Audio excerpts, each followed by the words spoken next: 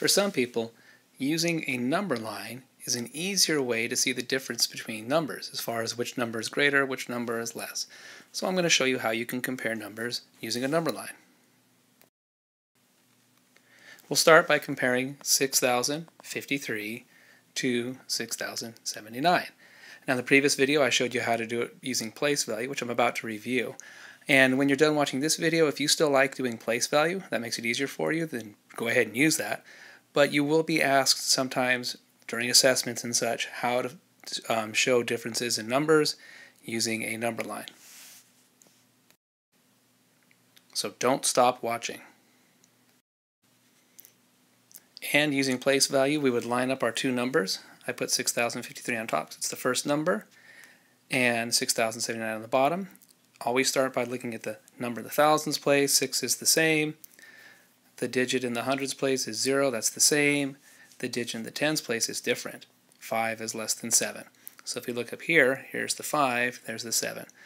So without even caring what the ones are, we know that 6053 is less than 6079 because of the 5 and the 7, the digit in the tens column. Well, let's compare that same number using a number line. And first I want to talk a little bit about this number line down here. Uh, most often number lines will be given to you. And as you can see, there's an arrow on the left, which means this is a line that goes on forever in that direction. And there's an arrow on the right. The line also goes on forever in that direction. That's the definition of a line. Um, way over here on the left would be zero, and then way over here is millions and billions and all that, right? But we're looking at these two numbers. So what we want to do is try to place 6053 onto the number line. Well, how do we figure out where to place it? How is this number line broken apart? This mark here stands for 6040. This mark stands for 6050. So the numbered marks are increasing by 10, right? Which means these marks halfway through would be halfway between 40 and 50, or 45. This mark is halfway between 50 and 60. It's 55, right? 65, 75. They didn't mark and they won't mark the 1, 2, 3, 4, the 6, 7, 8, 9 because it just makes your number line look too busy. We're not a ruler here. We're not going to show all those smaller ones. So in order to place 6053 on this number line, it's going to be somewhere between 6050 and 6060, right? In fact, it's going to be between 6050 and 6053. I mean 55. So it's going to be right about there. And then we'll draw a little line up here to show that we're connecting this number 6053 to this point on the number line. Well, let's do the same thing with 6079. It's very close to 6080, isn't it? It's more than 6070, it's more than 6075. In fact, it's only one away from 6080. There it is. Once again, we're going to put the dot here, the point on the line, and then we're going to draw a line to connect it to the number. And now we can clearly see, remember I said in the beginning, over here is 0, and numbers get bigger as they move to the right on number lines. So that means if 6053 is to the left of 6079, then it is smaller. It is less than. All right? So using a number line, we've proven that 6053 is less than 6079. Here's another example for you now. We're going to compare 942 to 842. And on this number line, it looks like we're now going by 50s. And we're not going by 10s anymore. Remember the last number line, it was increasing by 10? Well, this time we're increasing by 50 because the difference between these two numbers is much greater. And on the same size number line, they're going to show you a difference in the gaps. So the difference between the marked hashes or the marked the marks with numbers on them is 50.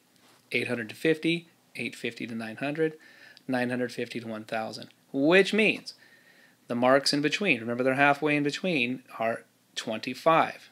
So this is 825, this is 875, just like quarters, right? 925, 975. So again, your first task is to mark the first number. Where would it be? Well, somewhere between 925 and 950. You've got to figure out where about 42 would be.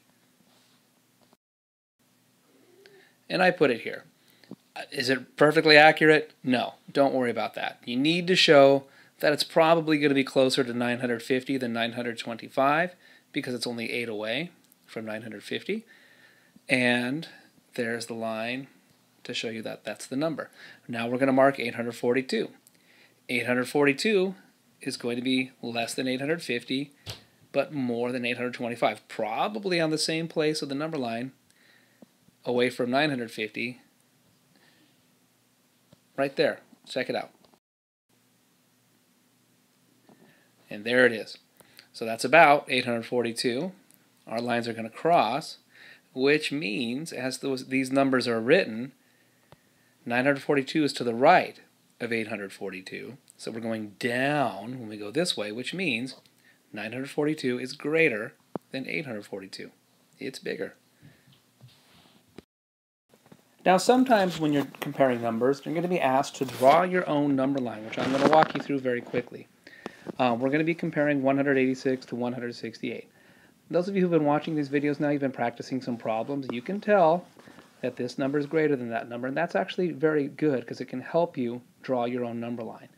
Um, but even if you can't, we're still going to create the number line and then see which one of these is bigger. So, first thing to do when you're drawing a number line, I'm going to try to draw the same one that I did using this um, app earlier, but it's not going to be as perfect. So there's my straight line. If you want a straight line, go ahead and get out a ruler. You can make it straight, but for most purposes, they're going to ask you just to sketch one. Doesn't need to be perfect. Then I'm going to put a mark close to the arrows on both sides. Then I'm going to put a big mark in the middle. And then I'm going to cut the section in half and this section in half. Those are going to be the marks that I put numbers on. And then we usually on number lines will show you half of those like I did earlier, but we're not going to put numbers on them. Okay? So now, let's look at these numbers. We're comparing 168 to 186. We already know this is smaller and this is bigger. So what I'm going to do is put the 168 it's going to be somewhere in this area. So that means in order to label this number line, which they're going to want you to do, I'm going to make this mark 160. That'll be 165, 170. Um, you're going to be working with pencil. If you make some mistakes, you can fix it. There's 180. There's 190.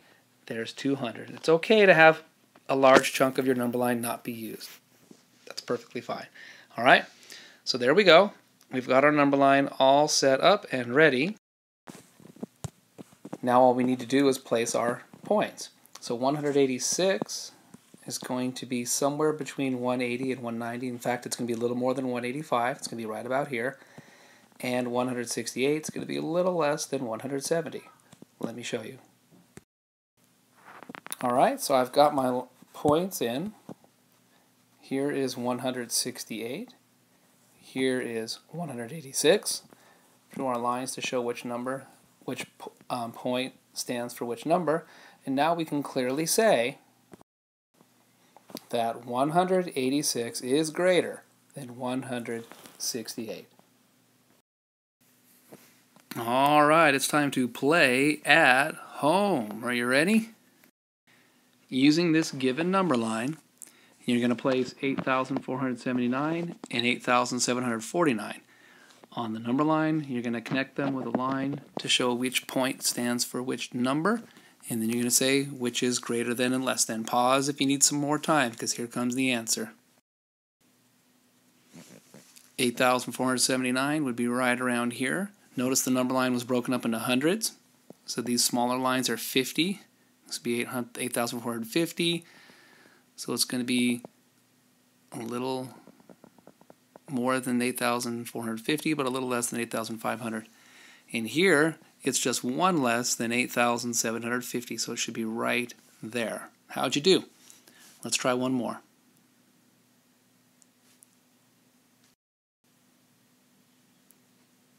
This one, try drawing your own number line.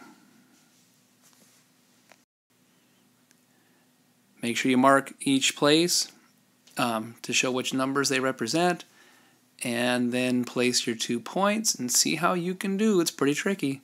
If you need to, rewind the video again to see how I did it. Here comes the answer. So on my number line, my divisions were 50 apart. Doesn't really matter if yours were or not. They could be different, which means the halfways are 25 again. So 340 would be right here, less than 350. 430 would be a little more than 425, right there. And that shows us that 340 is less than 430. That's all there is to it. Good luck with comparing numbers using a number line.